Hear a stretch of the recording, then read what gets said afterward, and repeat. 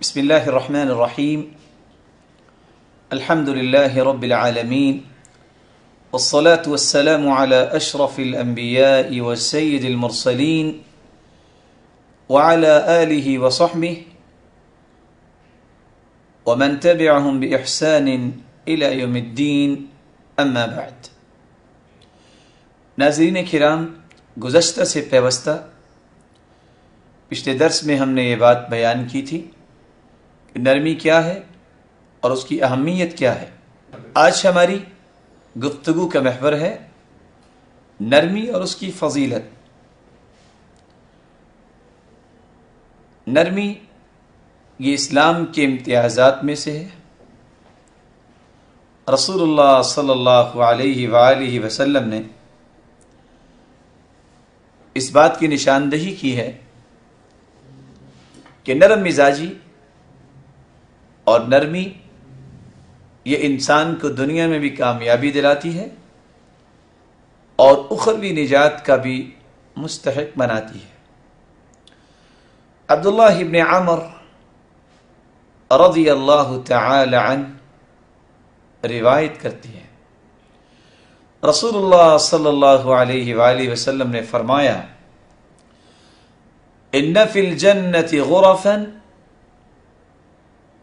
یرا ظاہرها من باطنها وباطنها من ظاهرها فقال ابو موسى رضی اللہ عنہ لمن هي یا رسول اللہ صلی اللہ علیہ وسلم سرتاج رسول فرمانے لگے، جنت میں کچھ ایسے کمرے ہیں، گھر ہیں، اتنے خوبصورت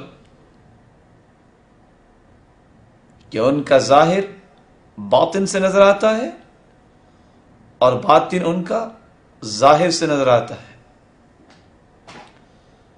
ابو موسیٰ شری رضی اللہ تعالی عنہ سوال کرتے ہیں، لمن ہی یا رسول اللہ صلی اللہ علیہ وآلہ وسلم؟ سرتاج رسول صلی اللہ علیہ وآلہ وسلم، یہ اتنے عالی شان گھر کن لوگوں کو نصیب ہوں گے۔ آپ نے جواب دیا؟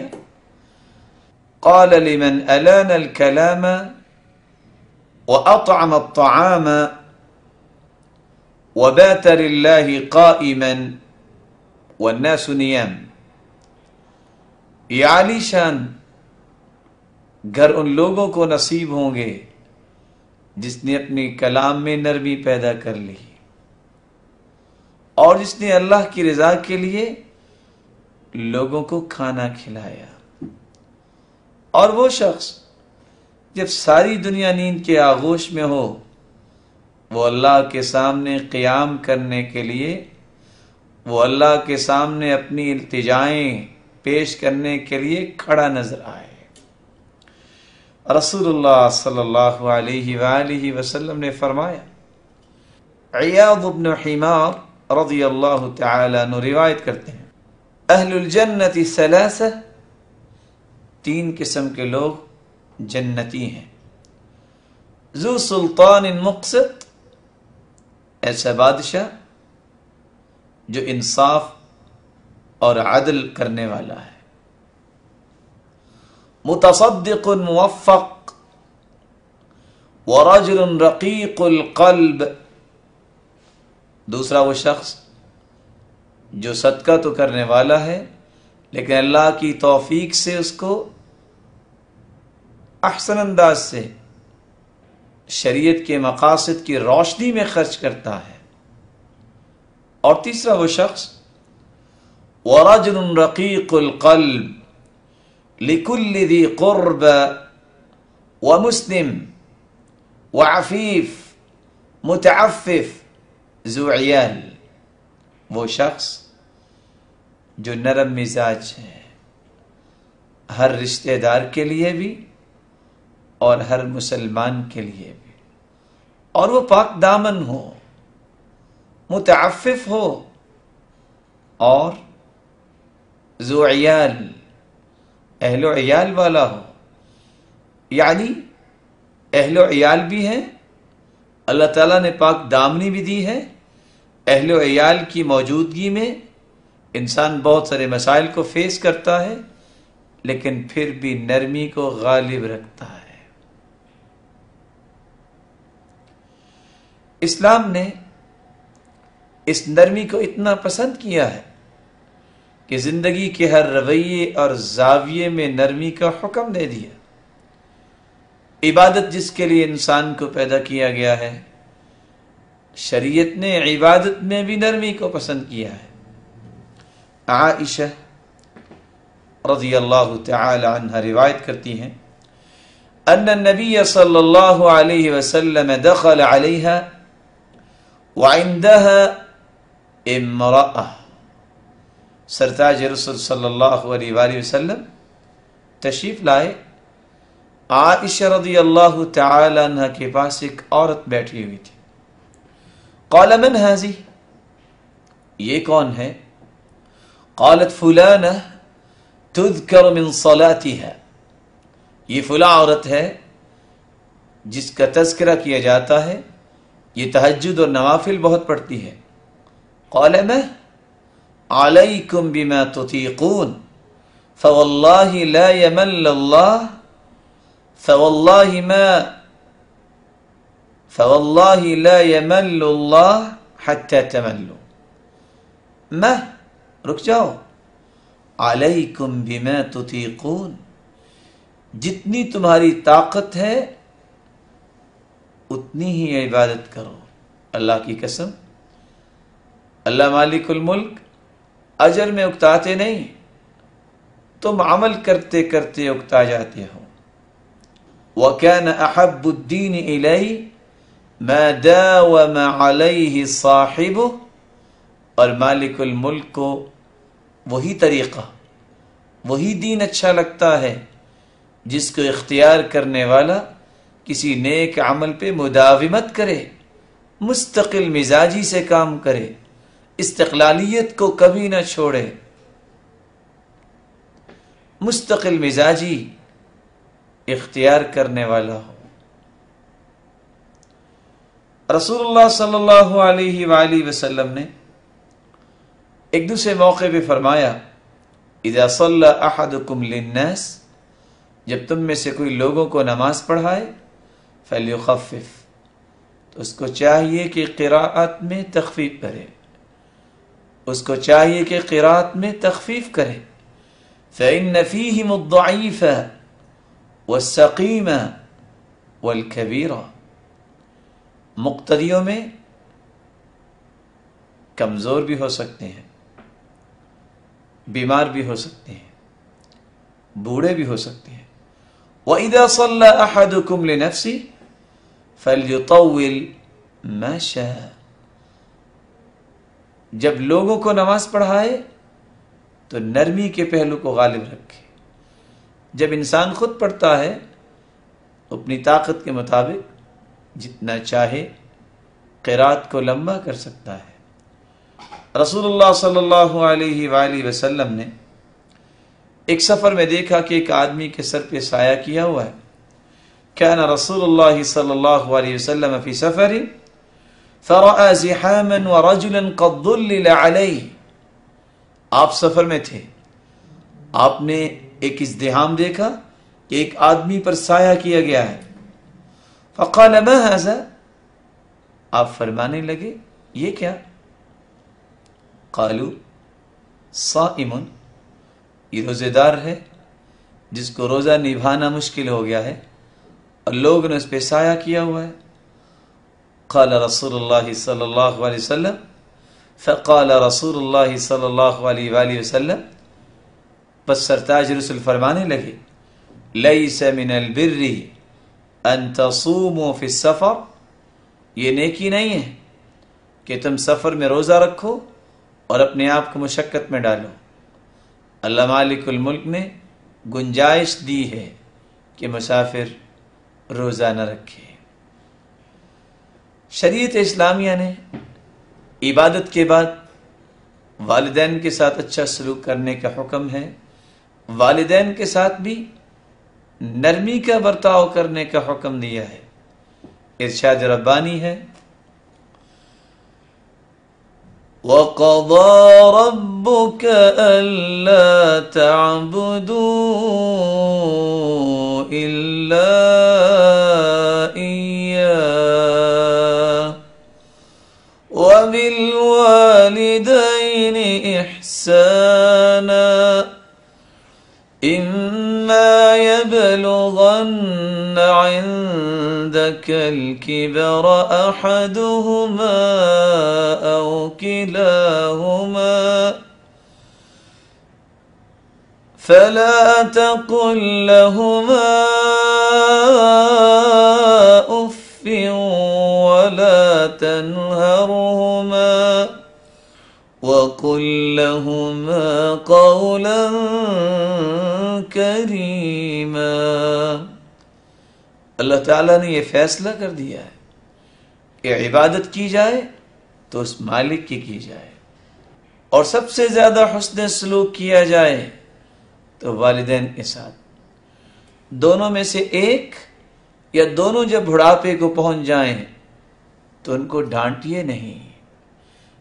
ولا تنہرہما ان کو اف تک نہ کہیے اور نہ ہی ان کو ڈانٹ ڈبٹ کیجیے بلکہ اچھی بات کیجیے۔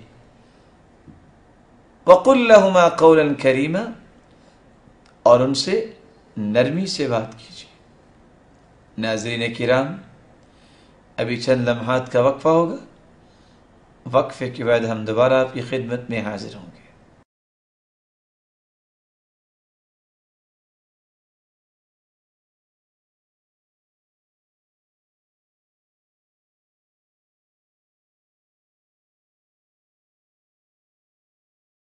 ناظرین کرام وقفے سے پہلے ہم یہ بات کر رہے تھے کہ شریعت اسلامیہ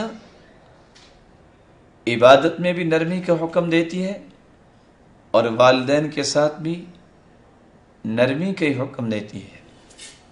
بلکہ زوجین کے معاملے میں بھی شریعت نے نرمی کو غالب رکھنے کا حکم دیا ہے۔ عبداللہ ابن عباس رضی اللہ تعالی عنہ سے مروی ہے۔ رسول اللہ صلی اللہ علیہ وآلہ وسلم نے فرمایا، خیرکم خیرکم للنساء، تم میں بہترین وہ ہے جو عورتوں کے معاملے میں، اپنے گھر والوں کے معاملے میں بہتر ہے۔ اور دوسری جگہ فرمایا، خیرکم خیرکم لنسائکم، تم میں بہترین وہ ہے جو اپنے گھر والوں کے معاملے بہتر ہے خیرکم خیرکم لأہلی، وَأَنَا خَيْرٌ لِأَهْلِي لوگوں، تم میں بہترین وہ ہے جو اپنے گھر والی کے معاملے میں بہتر ہے، اور میں اپنے گھر والوں کے معاملے میں بہت بہتر ہوں۔ شریعت اسلامیہ نے بچوں کے معاملے میں بھی نرمی کا ہی حکم دیا ہے۔ ام قیس بیان کرتی ہیں، انہا اتت ببن اللہ صغیر لم يأكل الطعام الى رسول اللہ صلی اللہ علیہ وآلہ وسلم۔ ام کیسے کیسے بچے کو لے کر رسول اللہ صلی اللہ علیہ وآلہ وسلم کے پاس آئیں، جو بھی کھانا نہیں کھاتا تھا۔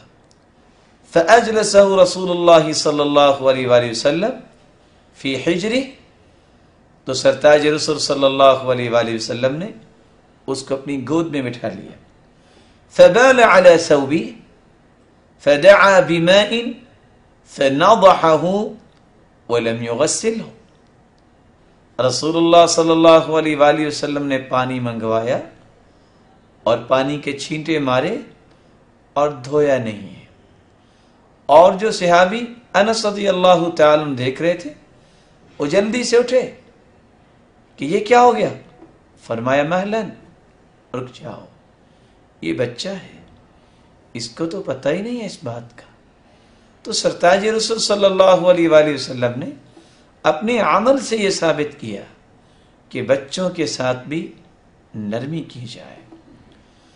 بلکہ شریعت تو اس بات کا حکم دیتی ہے کہ خادموں کے ساتھ متحتی میں کام کرنے والوں کے ساتھ بھی نرمی کا برتاؤ کیا جائے۔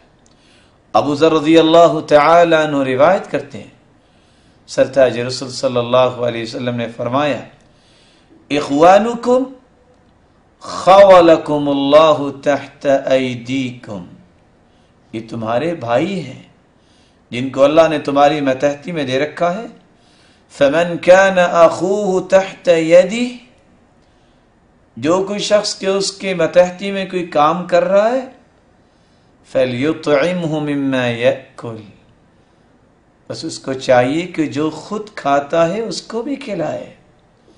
وَلْيُلْبِسُ مِمَّا يَلْبَسْ۔ اور جو خود پہنتا ہے، اس کو بھی پہنائے۔ وَلَا تُكَلِّفُوهُمْ مَا يَغْلِبُهُمْ۔ اور ایسے کام کی تکلیف ایسے کام کا اس کو مکلف نہ بنائے جو بیچارہ وہ کر نہ سکے۔ ایسے کام کا مکلف اس کو نہ بنائے جس کو وہ کر نہ پائے۔ فَإِن كَلَّفْتُمُوهُمْ فَأَعِنُوهُمْ اور اگر کوئی مشکل کام اس کو کہہ دیا گیا ہے، اگر کوئی مشکل کام اس کے سپرد کر دیا ہے تم نے، تو پھر اس کی مدد کیا کرو۔ شریعت اسلامیہ نے تو اس بات کا بھی حکم دیا۔ کوئی جاہل ہے، کوئی مسافر ہے، اس کے ساتھ بھی نرمی کی جائے۔